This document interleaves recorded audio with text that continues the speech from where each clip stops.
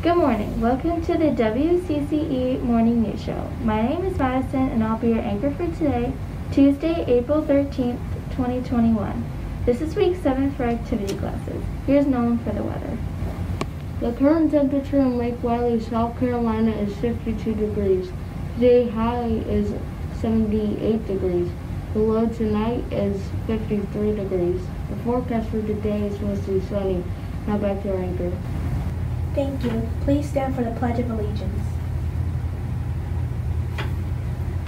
I pledge allegiance to the flag of the United States of America and to the republic for which it stands, one nation, under God, indivisible, with liberty and justice for all. I salute to the flag of South Carolina and pledge to upon the state love, loyalty, and faith. At Crowder's Creek, we pledge to seek smart solutions, be on board with learning, act responsibly, and respect others. And now for a moment of silence.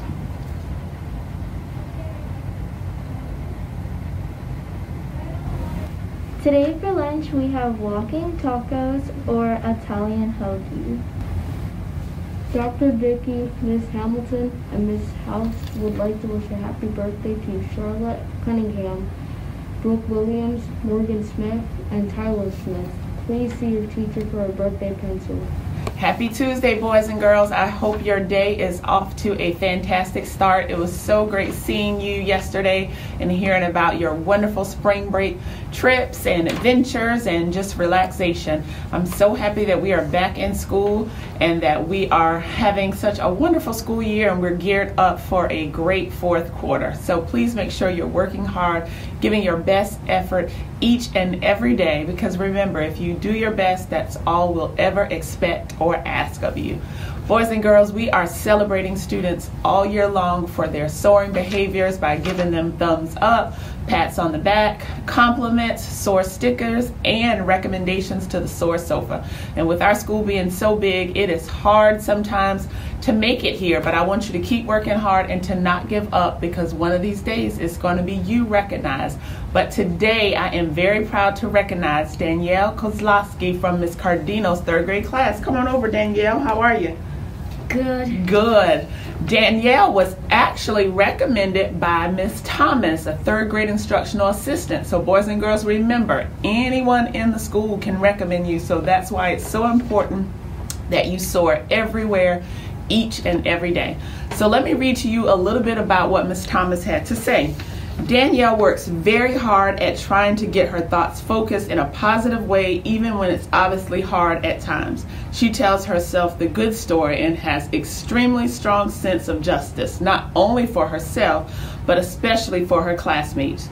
Reaching the SOAR sofa is incredibly important to her. She cares about it greatly and she speaks about soaring every single day.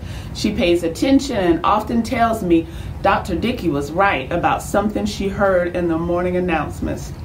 I am so happy to hear that you are listening carefully, that you are advocating for yourself and others, and that you are making sure that you are remembering what it means to soar. So here's your certificate. Thank you. You're welcome. Here's a pencil that says my principal is proud of me because I'm super proud.